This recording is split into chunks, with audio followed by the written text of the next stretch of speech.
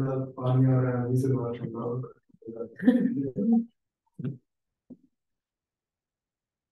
और राइट चलिए तो यहाँ पे हम अपना आगे का टास्क करते हैं, सबसे पहले तो। तो देखो, वैसे तो आपको ना कहीं जाने की ज़रूरत नहीं पड़ेगी, मैंने इसीलिए यहाँ पे फ़ाइल में ना, क्योंकि चीज़ें काफ़ी ज़्यादा थी नेट पे जाते तो टाइम बहुत लगता है। इसलिए मैंने इसे यहाँ पे ऑलरेडी रख रखा है। तो जो बीन्स की कॉन्फ़िगरेशन बनती है हमारी क्लास की, ये वाली जो कॉन्टेक्स्ट ना, इसका फ़ायदा भी पता है क्या है? आगे चल के आपका जैसे कॉन्टेक्स्ट आएगा बीन्स आएगा, सभी कुछ इसमें लगा रखा है ट्रांजेक्शन तक। स्पी स्कीमा सी स्कीमा सब लगा रखा है इसके अंदर। तो एक ही में सब कुछ आ गया। तो इसको हम ले लेते हैं कॉपी और यहाँ पे पेस्ट कर देते हैं। दूसरी चीज़ आपको क्या करने के लिए मैंने कहा था तो इसके स्टेप्स को ही फॉलो कर लोगे तो भी हो जाएगा काम आपका। फिर दूसरी चीज़ मैंने क्या कही थी कि भाई इस साइड द कॉन्फ़िगरेशन प्रोवाइड हमें क्या करनी है डेटाबेस रिलेटेड कॉन्फ़िगरेशन देनी है। सबसे पहले ट्रांजेक्शन को एनोटेशन ड्रिवन बनाना है तो यहाँ पे आप लिखेंगे, एक सेकेंड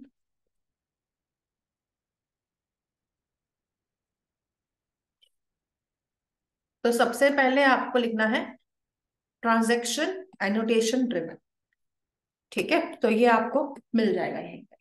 दूसरी चीज़ आपको क्या करनी है? अब आपको बीन्स बनानी स्टार्ट करनी है। सबसे पहले ड्राइवर मैनेजर डाटा सोर्स देखो, वैसे तो मैं यहाँ से कॉपी पेस्ट कर सकती हूँ, लेकिन आपको ना इसका मैनुअल फॉर्मेट भी पता होना चाहिए। इसीलिए ना एक काम कर रहे हैं, इसको अभी के लिए यहाँ पे बना लेते हैं। नहीं यहाँ है तो वहाँ से भी देख सकते हैं। तो बीन का आईडी बनाते हैं और हम इसका नाम क्या रख देते हैं? आईडी का डेटा सोर्स या डीएस कर देते हैं इन शॉर्ट ठीक है? और इसकी जो क्लास है, अब आपको क्लास का कहाँ से मिलेगा वैल्यू है ना? तो आप लोग एक शॉर्टकट याद रखना है कंट्रोल शिफ्ट टी इसका यूज़ करोगे कंट्रोल शिफ्ट टी का, और यहाँ पे जो क्लास का नाम था ना ड्राइवर मैनेजर डाटा सोर्स इसे लिखना स्टार्ट कर दीजिए। Driver manager data source file मिल गई, इसको ओपन कर लो, और फिर इसका क्वालिफाइड नेम उठा लो। ठीक है? तो इसका क्वालिफाइड नेम उठाना है और यहाँ पे लगाना है।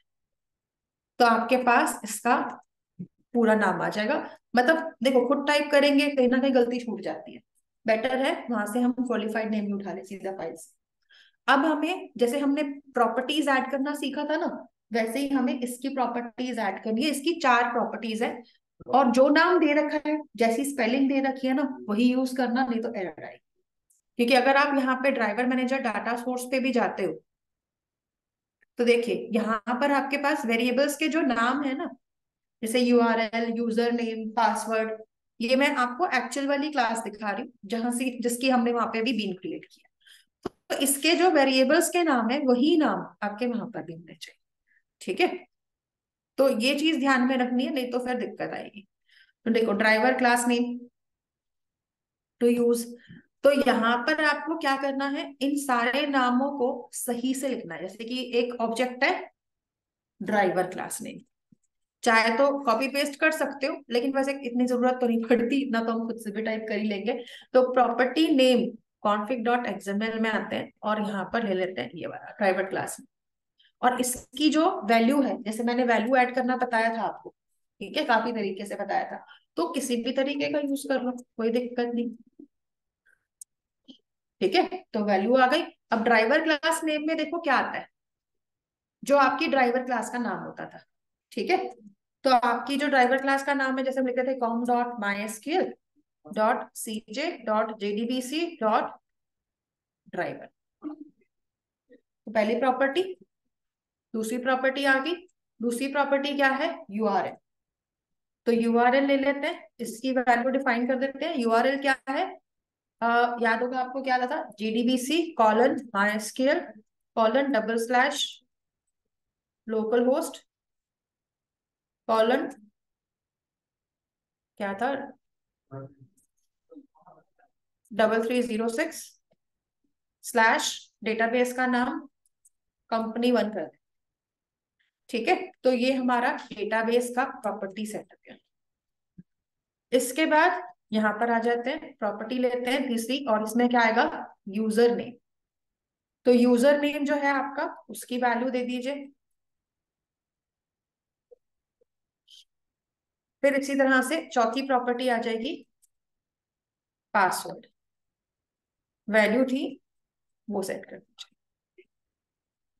तो यहाँ पे आपके पास क्या बन गई? एक तो फ़र्स्ट आपकी बीन बन गई डेटा सोर्स की।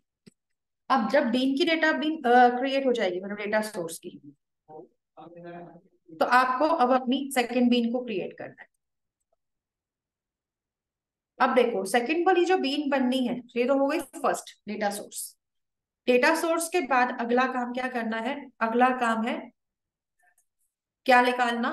लोकल सेशन फैक्ट्री बीन इसका ऑब्जेक्ट हम फैक्ट्री के नाम से या किसी भी नाम से बना सकते हैं, ठीक है? लेकिन अभी हम इसको क्या दे देते हैं नाम? फैक्ट्री दे देते हैं। ठीक है? और इसका जो क्लास है, अब जैसे हमने किसकी निकाली थी ड्राइवर मैनेजर की तो लोकल सेशन फैक्ट्री बी तो देख लेना भाई फैक्ट्री बी नहीं हो बिल्डर में उठा लेना गलती से। तो यहाँ पे हम इसका भी क्वालिफाइड नेम लेंगे। और इसे कहाँ पे लेकर आएँगे? कॉन्फिक डॉट एक्सएमएल तो यहाँ पे ना देखो, एक चीज़ और आपको जो मेरे को बतानी है वो ये है। यहाँ पर अगर आप ध्यान से देखोगे तो क्या यूज़ हो रखा है? हाइबरनेट फाइव तो अगर आपको हाइबरनेट का पुराना वर्जन यूज़ करना हो तो हाइबरनेट फाइव की जगह फोर या थ्री भी कर सकते ठीक है?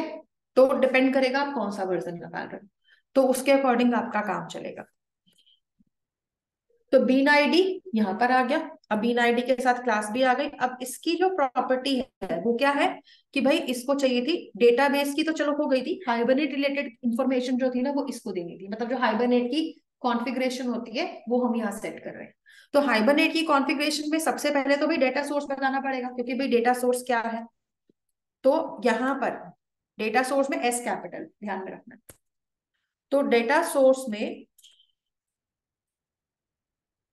ठीक है? तो इसमें क्या आएगा? नेम डेटा सोर्स और वैल्यू में ऊपर वाली बीन का नाम यहाँ आ जाएगा डीएस ठीक है? वैल्यू भी नहीं आएगा, वैसे तो हम बीन नेम दे रहे हैं तो क्या देना चाहिए था? रेफ देना चाहिए था। ठीक है?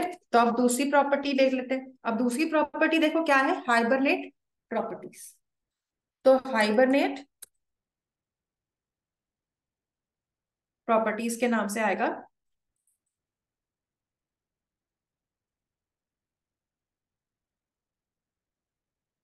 अब हाइबरनेट प्रॉपर्टीज़ की अगर हम बात कर रहे हैं तो इसके अंदर वैल्यू नहीं आएगी इसके क्योंकि ये एक तरह की लिस्ट है जो, जो हमारी प्रॉपर्टी वाली हमने कल सीखी थी ना कलेक्शन में ये उसी के हिसाब से काम करेगा। तो हम यहाँ पे बना देते हैं प्रॉप्स और इसमें क्या बनेगा? प्रॉप प्रॉप की क्या लगती है? की लगती है? तो पहली है हाइबरनेट डॉट डायलेक्ट तो हम यहाँ लिख लेंगे हाइबरनेट डॉट डायलेक्ट तो डायलेक्ट कौन सा वाला यूज़ होना है ये देख लेना। क्योंकि देखो हाइबरनेट यहाँ पर लिखा हुआ है माइस्केल फाइव डायलेक्ट इसके साथ साथ फिफ्टी फाइव भी आ चुका है मार्केट में फिफ्टी सेवन भी आ चुका है। ठीक है? और फाइव जो है वो थोड़ा पुराना है। तो आप चाहो तो आप दूसरा वाला भी यूज़ कर सकते हो। वो आपके ऊपर है कि आपको कौन सा वाला चाहिए। तो मैं यहाँ पर अभी के लिए ना बीच का ले लू ना तो नया ना, ना तो ज़्यादा नया ना तो ज़्यादा पुराना। MySQL fifty five dialect उठा रही ठीक है? इसके बाद जब आपकी ये वाली प्रॉप आ जाती है तो ऐसे ही दूसरी प्रॉपर्टी लेते हैं। दूसरी प्रॉपर्टी क्या है? हाइबरनेट अब देखो, ये वाली जो प्रॉपर्टी है ना शो एसक्यूएल ये ये क्या है? मतलब ये कह लो कि ऑप्शनल है। यूज़ करना है तो यूज़ करो, नहीं तो मत करो। लेकिन इसका यूज़ करने का पता फ़ायदा क्या रहेगा? कि बैकग्राउंड में कौन सी क्वेरी चल रही है, ये पता चल जाता है। तो हम लिखेंगे Hibernate dot show underscore SQL तो शो अंडर स्कोर एसक्यूएल लिखना है और इसकी वैल्यू को क्या कर देंगे? ट्रू कर देंगे। तो बैकग्राउंड की क्वेरीज को भी प्रिंट कराएगा स्क्रीन पे। नहीं तो पता ही चलेगा कौन सी क्वेरी चली और क्या काम होगा। ठीक है? इसके बाद एक और चीज़ आती है। इसको हम क्यों यूज़ करते हैं? हाइबरनेट और डीडीएल को, ताकि ये बता सके हाइबरनेट को कि अगर आपको वहाँ पर टेबल नहीं मिलता या मिलता है तो उस केस में आपको कैसे काम करना है? ठीक है? तो हाइबरनेट टू डीडीएल का मतलब पता क्या होता है? एचबीएम का मतलब हाइबरनेट मैपिंग टू डीडीएल मतलब डाटा डेफिनेशन लैंग्वेज। मतलब एक तरह से टेबल बनेगा, नहीं बनेगा, अपडेट होगा, क्या होगा, वो सब इसके रिकॉर्डिंग होगा। तो H B M to DDL dot auto use करते हैं तो हम लिखेंगे Hibernate dot H B M to DDL dot auto अभी के लिए मैं इसको अपडेट पे रख रही हूँ, ठीक है? अपडेट क्यों रख रही हूँ कि मुझे पता है ईटेन नाम का मेरे पास कोई टेबल नहीं है तो नया ही बना देगा। ऑटोमेटिकली और अगली बार क्या करेगा, उसी ईटेन में रिकॉर्ड्स डालता रहेगा तो इसलिए मैंने इसको क्या कर दिया अपडेट पे रख दिया। अब आपके पास जब ये तीन प्रॉपर्टीज़ सेट हो जाती है, इसके बाद आप इसका प्रॉपर्टी टैग क्लोज कर दोगे और प्रॉप्स को भी और प्रॉपर्टी को क्लोज कर दोगे। अगली प्रॉपर्टी है एनोटेटेड क्लासेस ठीक है? मतलब आपने कौन सी वाली क्लास यूज़ किया है? तो ये वाली प्रॉपर्टी तो एंड हो गई। इसमें ये तीन चीज़ें दे रहे हैं। ये भी एक तरह का लिस्ट है तो हम यहाँ पे लिखेंगे एनोटेटेड क्लासेस और यहाँ पे हम क्या देंगे? लिस्ट दे देंगे। अब लिस्ट के अंदर जो वैल्यू आनी है, फ़िलहाल तो एक ही क्लास है हमारे पास। एक से ज़्यादा क्लास होती है तो हम दे देते नाम उसका। तो हम यहाँ पे वैल्यू टैग लगा देते हैं और यहाँ पे लिख देते हैं com dot files dot employ ठीक है? तो क्लास का नाम देंगे जिसमें हमने एनोटेशन का यूज़ किया है। तो ये हमारी प्रॉपर्टी बनेगी किसके लिए? लोकल सेशन फैक्ट्री बीन के तो ये हमारी हाइबरनेट की सारी कॉन्फ़िगरेशंस को सेट करा देगा। अब हाइबरनेट जब सेट हो जाता है ना तो हमें हाइबरनेट टेम्पलेट का बीन भी बनाना है और उसको क्या देना है? सेशन फैक्ट्री में फैक्ट्री देना है। तो हम इसे भी बनाएँगे। तो यहाँ पे एक और बीन बनेगी, जिसका आईडी क्या बनेगा? कुछ भी बना सकते हैं। एच टी रखना है, ठीक है? एच टेम्पलेट रखना है, नाम कुछ भी रख लो। बस उसकी जो क्लास है, वो सही से लेनी है। तो कंट्रोल शिफ्ट टी कर लो और हम यहाँ पे लिख लेते हैं हाइबरनेट टेम्पलेट तो हाइबरनेट टेम्पलेट की जो भी क्लास मिलती है, उसका कॉपी कर लेंगे क्वालिफाइड नेम और उसके बाद कॉन्फिक डॉट एक्सएमएल में आके यहाँ पे इसका नाम ठीक है? फिर इसके बाद यहाँ पे इसकी प्रॉपर्टी बनेगी। और यहाँ पे हमें क्या देना है? सेशन फैक्ट्री मतलब जो कॉन्फ़िगरेशन आपकी किसमें आती थी? हाइबरनेट में एप डॉट जावा में आती थी, वो यहाँ आ रही है। वहाँ पे भी बनता था ना सेशन फैक्ट्री का ऑब्जेक्ट तो वही यहाँ पे भी बनेगा।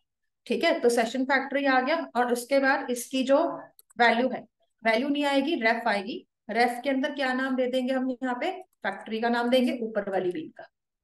ठीक है? तो फैक्ट्री यहाँ पर सेट हो जाएगा। बस इसके अंदर एक ही प्रॉपर्टी जाने इसके बाद जब आपका हाइबरनेट टेम्पलेट सेट हो जाता है तो आपको देखो, कोई भी ट्रांजेक्शन करनी होती है तो आपको ट्रांजेक्शन का भी तो रखना पड़ता है ना वहाँ पर।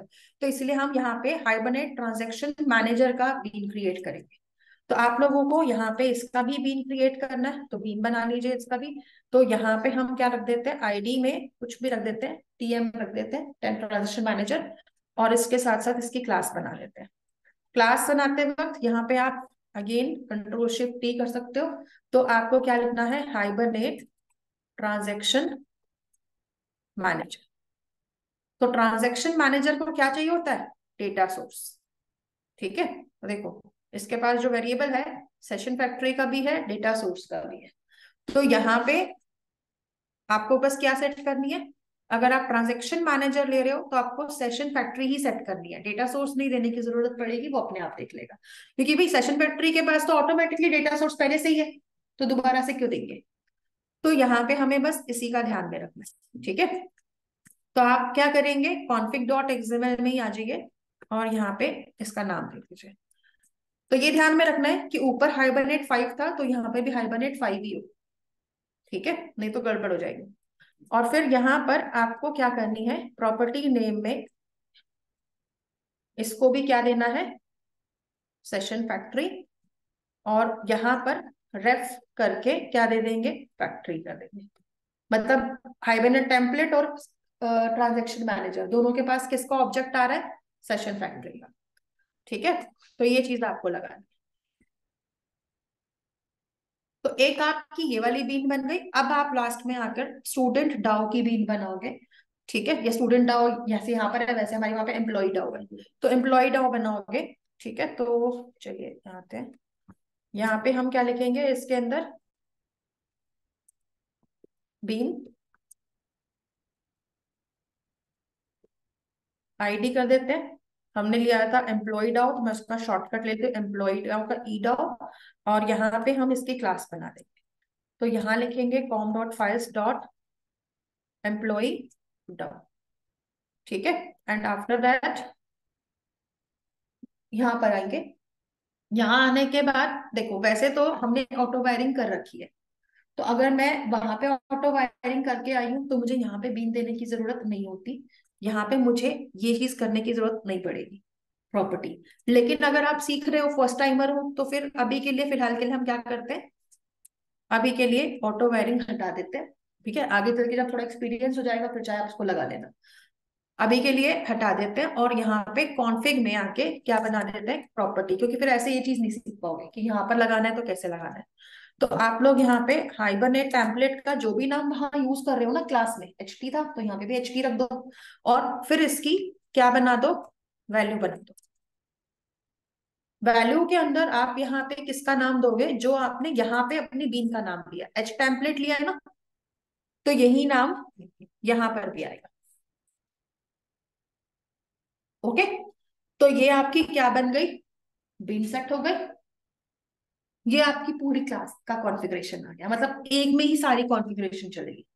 हाइबरनेट की भी डेटा सोर्स की भी क्लास की फ़ैशन फैक्ट्री सब कुछ इसी में आ गया, जो हाइबरनेट में हम एक क्लास में जाके कर रहे थे। ठीक है? अब इसके बाद आ जाइए आप app dot Java app dot Java में आने के बाद आप लोगों को नेक्स्ट टास्क क्या करना है? नेक्स्ट टास्क आपको ये करना है कि यहाँ पर आके आप लोग एप्लीकेशन कॉन्टेक्स्ट का ऑब्जेक्ट बना लो as usual equals to new class path XML application context ले लो।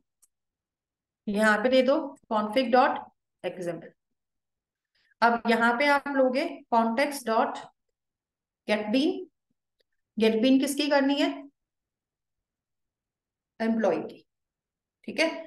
तो गेट बीन करनी है एम्प्लॉय की, ताकि भाई एम्प्लॉय का ऑब्जेक्ट यूज़ कर सके, या फिर आपको फ़ंक्शन किसका यूज़ करना है? एम्प्लॉय डाउ का। तो हम यहाँ पे एम्प्लॉय डाउ ठीक है? ई डाउ नाम से थी ना बीन हमारी, उसको गेट कर लेते हैं। और यहाँ पे लगा देते हैं employ DAO dot class okay और इसके बाद इसे हम असाइन करा देते हैं। इसको हम असाइन करा देते हैं यहाँ पर एम्प्लॉय बीन के अंदर। तो ये हमारी बीन सेट अब इस बीन की हेल्प से हम कोई भी टास्क करा सकते हैं। Let's suppose I want to like save a record तो इसके लिए मुझे क्या करना है? अब देखो, मैंने ना एम्प्लॉय का वहाँ पर बीन नहीं बनाया। तो अगर आप एम्प्लॉय का भी बीन गेट करना चाहते हो तो फिर आपको क्या करना पड़ेगा? यहीं पर बीन आईडी करके ईएमपी e बना दो क्लास बना दो। क्या नाम था? Com dot files dot employ चाहे आगे का कुछ मत करो, सिर्फ़ बीन बनाकर छोड़ और यहाँ पर एप डॉट जावा में अगर मुझे एम्प्लॉय का भी ऑब्जेक्ट गेट करना तो बस मुझे क्या करना है, यहाँ पर आके कॉन्टेक्स्ट डॉट गेट बी और यहाँ पे हम क्या लिखेंगे? ईएमपी ठीक है? और इसके बाद इसको हम क्या कर देंगे? टाइप कास्ट कर देंगे। अब अगर आपके पास एम्प्लॉय का ऑब्जेक्ट आ गया, उसका भी यूज़ कर सकते हो। क्योंकि देखो, मैंने ये ऑब्जेक्ट क्यों लिया? क्योंकि भाई मुझे यहाँ पे ना वैल्यूज़ को सेट कराना है। क्योंकि मैं सेव रिकॉर्ड करवाने वाली हूँ तो सेव रिकॉर्ड चलाऊँगी तो भी एम्प्लॉय के पास रिकॉर्ड तो जाएगा ही ना, इसलिए मैंने इसका बीन भी बना दिया। तो अब हम यहाँ पे क्या करते हैं, पहले तो ई डॉट सेट आईडी कर देते हैं। देखो आईडी सेट करने की ज़रूरत है? नहीं है। क्योंकि आईडी तो क्या है? ऑटो ऑटो वाला चल रहा है। तो नेम लगा देते हैं। तो मान लो मैंने नाम दे दिया नाम ई डॉट सेट क्या करनी है? सैलरी तो सैलरी लगा दी। फ्लोट में था तो एफ़ लगा हैं लास्ट अब इसके बाद हमें क्या करना है? हमारी जो बीन नाम के ऊपर बनी है डाउ की ऑब्जेक्ट तो बीन डॉट क्या करना है? यहाँ पर हमें इसको सेव एम्प्लॉय करना है। तो सेव एम्प्लॉय को ई e दे दीजिए। ये क्या रिटर्न कर रहा है? अच्छा कुछ भी रिटर्न नहीं कर रहा ना, क्योंकि हमने वहीं पे प्रिंट करवा दिया था। तो अगर हमें इसको देखना है तो ये भी आ जाएगा। आफ्टर दिस बी डॉट करके क्या था? इसमें गेट रिकॉर्ड्स तो जितने भी रिकॉर्ड बने होंगे, सारे कैट हो जाएँगे। ठीक है? तो हम यहाँ पर इस तरह से रिकॉर्ड्स बना सकते हैं। अगर आपको एक से ज़्यादा रिकॉर्ड चाहिए तो आप क्या कर सकते हो? सेम काम दोबारा भी कर सकते हो। तो यहाँ पे आपके पास, यहाँ पर इतना रहेगा। मतलब जितनी कॉन्फ़िगरेशन थी, वो तो बैकग्राउंड में चली गई है। एक बार बनाया, छोड़ दिया। अब जब सेव कराया तो भैया सेव का बटन दबाओ, उसका ऑप्शन यूज़ करो। जिसका काम करना है, उसका काम करवाओ इजी रह जाएगा ना काम हमारे लिए। तो ये हमारे लिए बेनिफिशियल है। तो अभी आप क्या करिए, इसे ले लीजिए और फोर इंच लूप लगा लो। एम्प्लॉय ई e करके। अच्छा ई e तो ऑलरेडी है तो ई e वन कर देते हैं। और ई वन में क्या दे देते हैं? रिकॉर्ड्स और सस आउट करके ई वन को प्रिंट करा देते हैं। अब अगर मैंने इस प्रोग्राम को रन किया तो लेट सी इसमें क्या क्या आता है।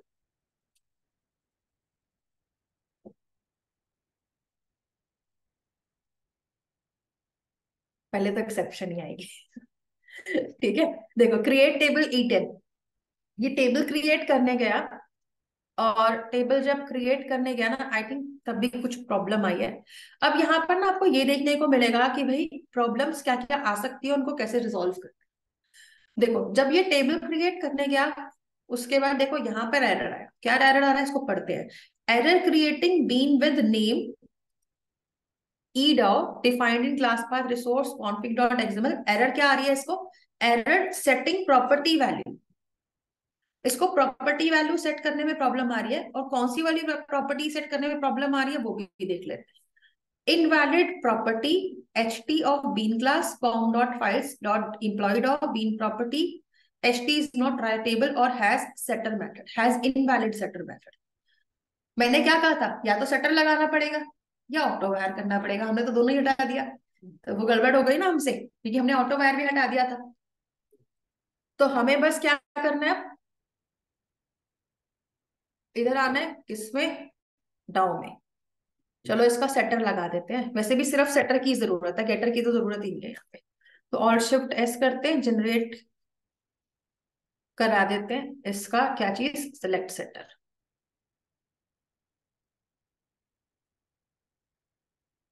फाइन अब इसको एक बार करके देखते हैं।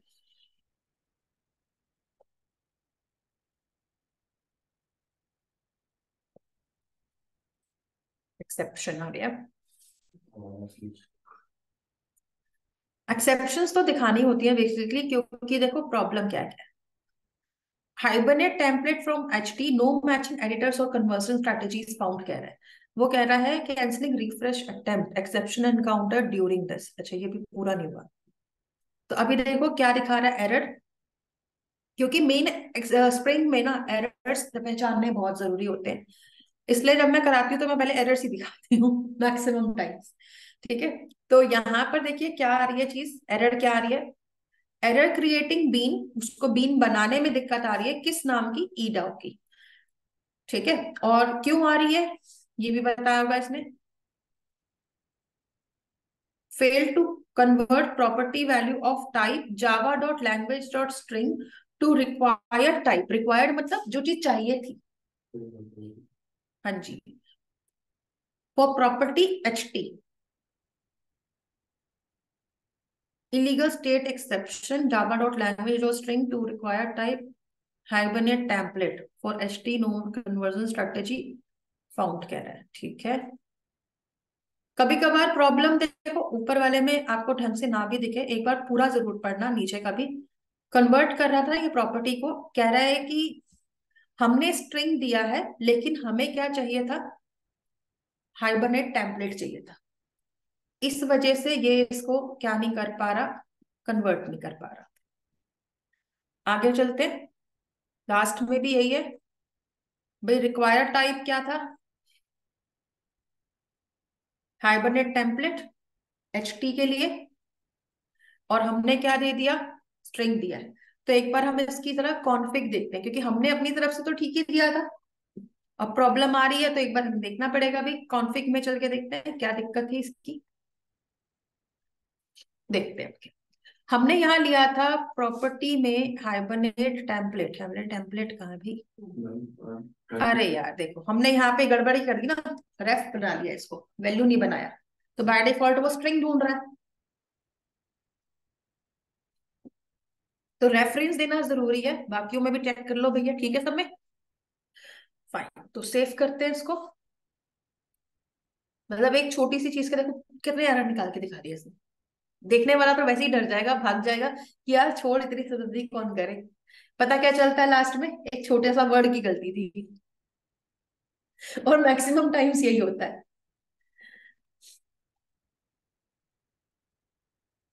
कोई नहीं एरर्स आएँगे तो सिखा के भी जाएँगे आपको, काफ़ी सारी चीज़ें।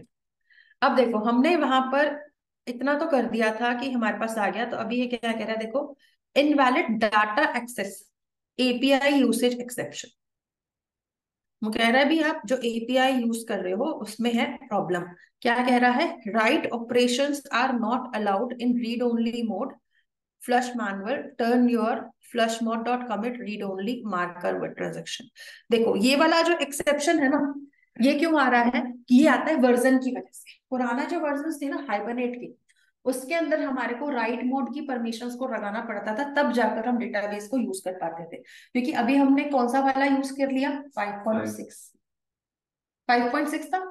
22 5.3 तो 5.3 के साथ प्रॉब्लम क्या थी कि वहाँ पे राइट मोड की एक्सेप्शन आ जाती है। तो हमें क्या करना पड़ेगा इस केस में? वर्जन बदलना पड़ेगा। या फिर हमें क्या करना पड़ेगा? राइट ऑपरेशंस को वैलिड करना होगा। अब यहाँ पर आपको एक और चीज़ जो सीखनी है और करनी है, ये एक्सेप्शन मैंने इसलिए निकलवाई क्योंकि मुझे पता था यही वाली एक्सेप्शन और मैं इसी का वेट कर रही थी एक्चुअली देर से कि ये वाली एक्सेप्शन आ जाए। क्योंकि इस एक्सेप्शन का मतलब पता है क्या है? कि आप लोगों को, देखो क्या लिखा है? कमिट ऑटो मोड को क्या करना है? और रिमूव रीड ओनली मार्कर ये कैसे निकाला जाए ना? क्योंकि ऐसी प्रॉब्लम्स आपको बहुत दिखने वाली है स्प्रिंग के साथ में। क्योंकि चीज़ें ज़्यादा है ना तो इसलिए काफ़ी ज़्यादा चीज़ों में आपको प्रॉब्लम्स दिखने वाली हैं। तो एक वेबसाइट है स्टैक ओवरफ्लो इसको फ्रेंड बना लो। एरर आया कॉपी करना है गूगल में जाके पेस्ट करना है, जब खुद से पढ़ रहे हो तो। ठीक है? तो यहाँ पे आके क्या करना है, देखो स्टैक ओवरफ्लो में जो कॉमन एरर्स आते रहते हैं उनका सबका आंसर आपको मिल ही जाता है। तो यहाँ पे अगर आप देखोगे तो क्या लिखा रहा है write operation are not allowed same error जो हमने देखा था। ठीक है? तो ये क्या कह रहा है भाई मेरे को ये प्रॉब्लम आ रहा है और मैंने सारी फ़ाइल तो ठीक बना दी। फिर भी प्रॉब्लम दिखा रहा है। क्यों दिखा रहा है भाई? तो ये इसने अपनी पूरी की पूरी राम कहानी यहाँ पे लिख के डाल दी। एंड देखो, यहाँ इसका आंसर भी मिल जाएगा।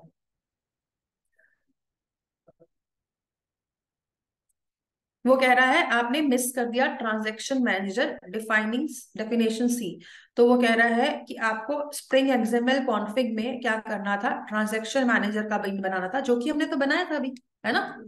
हाइबरनेट ट्रांजैक्शन मैनेजर हमने बनाया था और उसमें प्रॉपर्टी नेम दिया था कौन सा वाला? सेशन फैक्ट्री लेकिन प्रॉब्लम पता है क्या है? हमने एक चीज़ छोड़ दी। एक एनोटेशन आती है एट द रेट ट्रांजेक्शनल जो रीड ओनली वाली प्रॉब्लम दिखा रहा है ना वो इसकी वजह से दिखा रहा है। ओके तो हमें इसे लगाना पड़ेगा, कहाँ पे लगाना पड़ेगा? जहाँ पर भी हमारा मेथड यूज़ हो रहा है। किस चीज़ के लिए? इंसर्शन के लिए।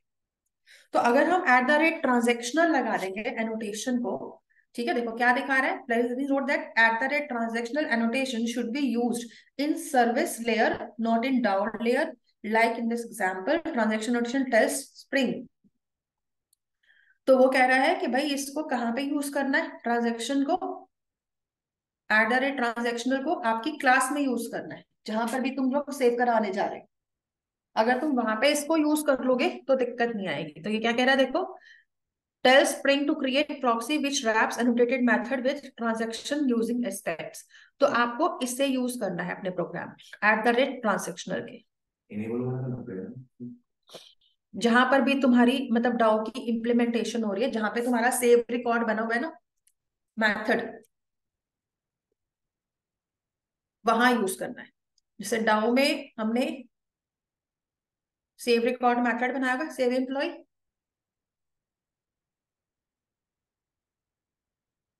इसके ऊपर ट्रांजेक्शनल लगा दो। वैसे अभी इसमें एक चीज़ और भी आएगी।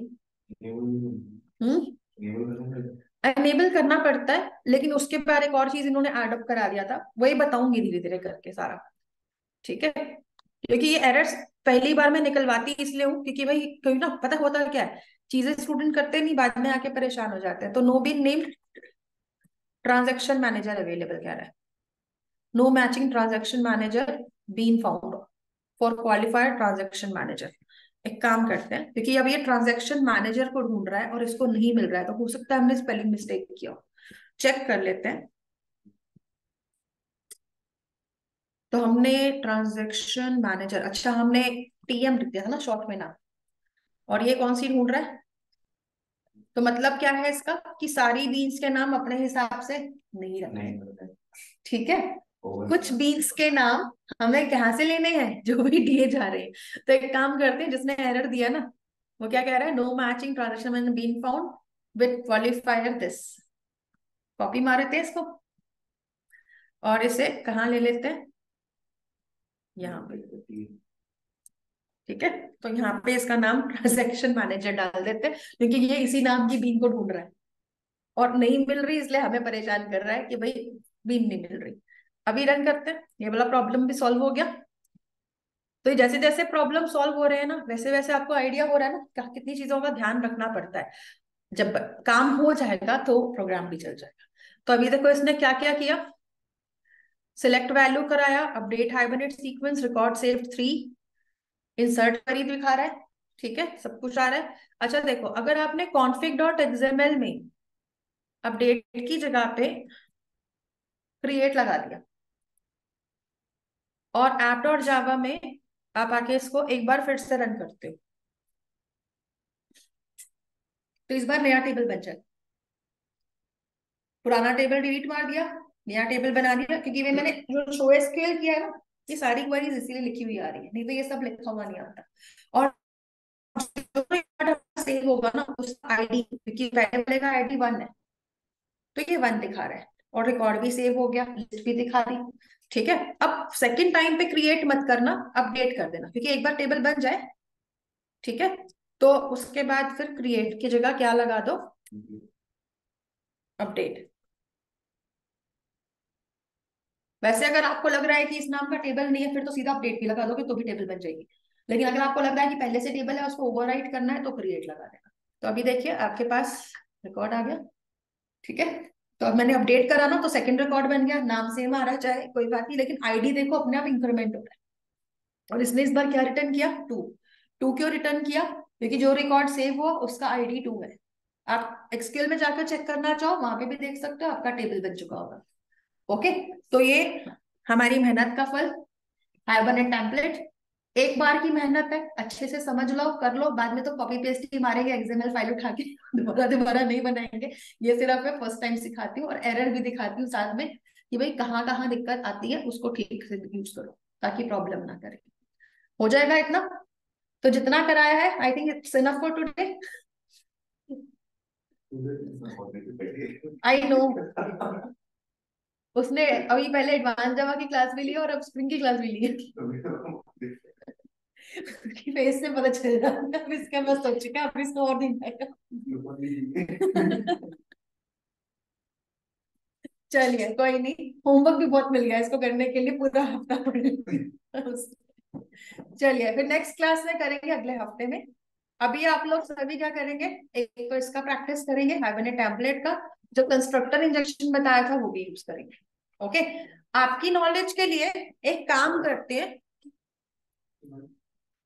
हाँ जी, आप लोगों के लिए एक होमवर्क छोड़ रही हूँ। जो ये वाली क्लास है ना, इसी के अंदर हाइबरनेट टेम्पलेट में एच टी डॉट करोगे तो मैं अपडेट मैथड भी मिलेगा।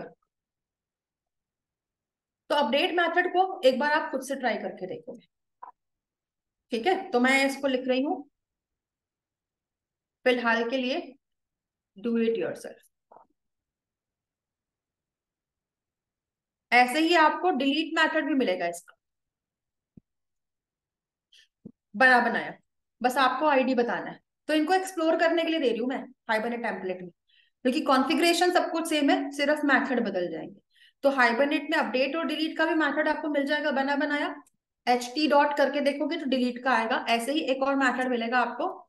मैथड्स तो काफ़ी सारे हैं, लेकिन अभी मैं मेन मेन दे रही तो यहाँ पे आएगा रिकॉर्ड नाम खुद से ढूंढना है इसका रिकॉर्ड बाय आईडी इसमें आप आईडी दे देते हो तो आईडी के अकॉर्डिंग भी फेच कर देता है। तो आपको बस ये देखना है, इन तीनों मेथड्स को। ये होमवर्क है इस हफ़्ते का। बाकी रिवीजन तो करना ही करना है ओआरएम का भी और ऑटो वायरिंग का भी, जितना भी मैंने सिखाया आज और उसके साथ साथ आप इन तीनों मेथड्स को भी प्रैक्टिस करोगे। तो आपका क्रड एप्लीकेशन कंप्लीट हो जाएगा, ठीक है? जो आप पहले भी बना रहे थे रीड अपडेट डिलीट एंड ठीक है? क्रिएट तो क्रिएट हम कर चुके हैं। रीड भी कर चुके हैं ऑल रिकॉर्ड्स को सिंगल रिकॉर्ड को भी करना है डिलीट भी करना है अपडेट भी करना है। इसके अलावा भी आप लोगों को क्या करना है? फाइंड करके बताना है। Other useful methods. आपको जो भी यूजफुल मैथड लगे, एक्सप्लोर करने के लिए दे रही हूँ टेम्पलेट को। ठीक है? कैसे एक्सप्लोर करोगे? जब आप लोग यहाँ पर आओगे एम्प्लॉय डाउ में, जैसे कि आपने यहाँ पर लिखा, कहीं पर भी एच टी डॉट तो डॉट करके दिख रहे हैं इतने सारे मैथड्स इनको एक्सप्लोर करके इसमें से जो यूजफुल मैथड आपको लगे आप लोग उसकी लिस्ट बनाओगे और मुझे बताओगे। हो सके तो उसको यूज़ भी करो। डाउ क्लास के अंदर। अलग अलग मेथड चाहिए, सभी के और ऑप्शंस भी चाहिए। अगर आपके पास कोई भी एडवांस जावा का प्रोजेक्ट है, जिसमें आपने जेडीबीसी का यूज़ किया था, उस जेडीबीसी में जो डाउ क्लास है, उसकी जगह पे आप इस डाउ क्लास का और कॉन्फ़िगरेशन फ़ाइल का यूज़ कर सकते हो। तो बैकग्राउंड में आपका हाइबरनेट आ जाएगा इंस्टेड ऑफ़ जेडीबीसी बाकी फ्रंट एंड आपका सेम रहेगा। क्लियर है यहाँ तक? हो सकता है? तो जितना आइडियाज़ मैं ये दे रही हूँ, इसीलिए दे रही हूँ कि मैं चाहती हूँ कि आपके पास जो बीच में पाँच दिन है ना ये, इन पाँच दिनों में जितना एक्सप्लोर कर सकते हो चीज़ों को, उतना करना है। क्योंकि जितना आप अपने आप से एक्सप्लोरिंग करोगे ना चीज़ों की, जैसे कि आपने वेब एप्लीकेशन में हाइबरनेट लगा लिया, एक तो आप ये प्रैक्टिस करेंगे, ठीक है? साथ के साथ इसके मेथड्स को फाइंड आउट करेंगे तो आपको दो काम है। पहला ये सारे के सारे मेथड्स को फाइंड आउट करना है और देखना है कौन कौन से यूजफुल मेथड्स आपको दिखते हैं इसमें से। दूसरी चीज़ इन अ वेब एप्लीकेशन जो आपने अगर प्रैक्टिस किया होगा तो डेफिनेटली आपके पास पड़ा होगा, पुराना। In a web application apply Hibernate instead of JDBC जैसे वहाँ पे डाउ में से फ़ंक्शन कॉल करते थे, वैसे ही फ़ंक्शन कॉल करना है। कॉन्फ़िगरेशन फ़ाइल भी यहाँ पर ऐसी बनेगी जैसे यहाँ पे बनाई है, और कोई चेंज नहीं है। बस दोनों को साथ में जोड़ना है। तो इससे आपको ट्राई करना है। तो this is all your homework for this week आप लोगों को एक वेब एप्लीकेशन में हाइबरनेट का यूज़ करके मुझे उसकी फ़ाइल का प्रोजेक्ट फ़ाइल जो है जिप फॉर्मेट में ग्रुप में शेयर करनी है। मैंने मार्किंग सिस्टम स्टाइल स्टार्ट कर दिया है। जो भी स्टूडेंट्स को मैं काम कर रही हूँ, उसकी मार्किंग रखूँगी मैं अपने पास।